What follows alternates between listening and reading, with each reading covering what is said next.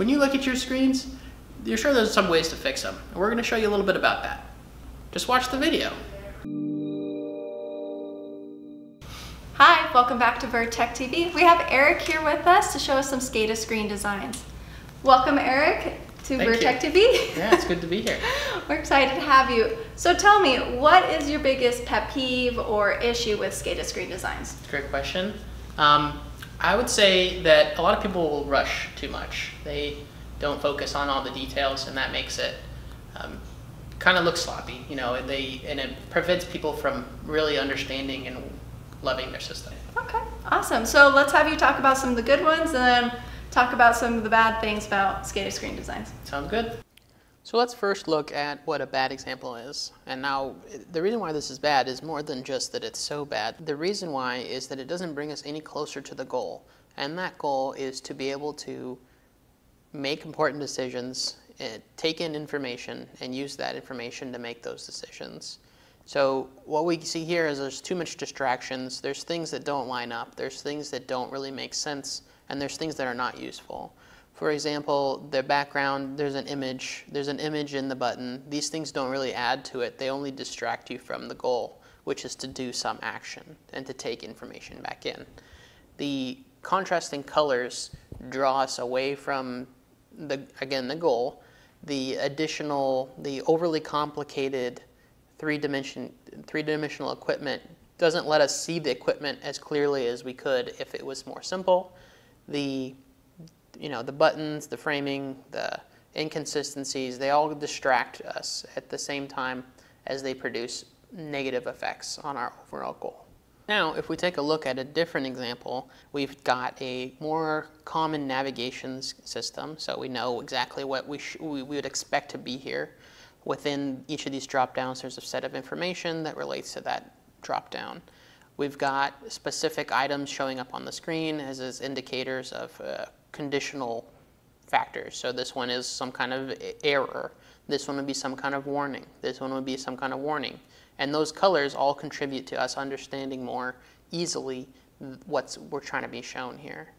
Um, additionally, we've got spacing starting to include padding. We've got alignment. We've got uh, hierarchy of information. We've got a consistent color palette. And overall, the thing looks nicer. You want to keep the images to a minimum. So here we've got icons that are filled rather than images. But there are gradients in this color here you can see for stylistic effect. So it's still pleasing to use.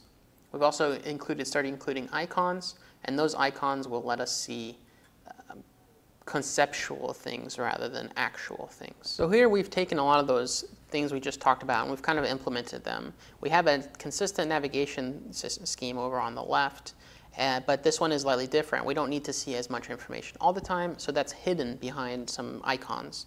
Those icons kind of relate to the conceptual section that we need to understand, and doing that will improve your operator's ability to immediately go to certain sections on the screen rather than moving them up and down in uh, nested type navigation.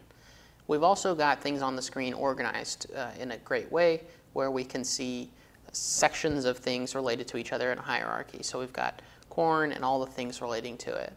We've also know that this is separate and it's some kind of button system and these buttons maybe lead to these items on the screen. So if things you can take away is that you want to um, compose things in a way where you wouldn't have to look at everything if you didn't want to. And if you did want to look at something, you'd be able to find it instantly or very, very quickly based on your experience with the system. Furthermore, you'd want feedback, like these little indicators here, that will show you if you've completed the, ta the task or you need to additionally select it.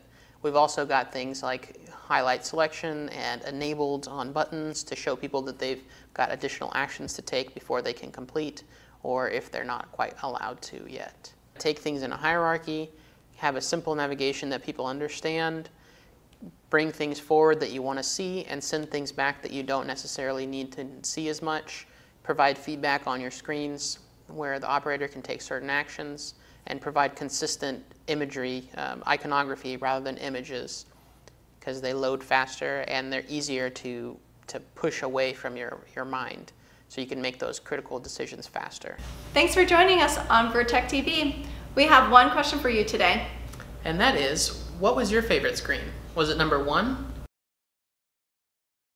two, or three? You can leave your choice in the comments below. And if you want to know more about Vertech or improving your designs more, visit us at vertech.com. See you there.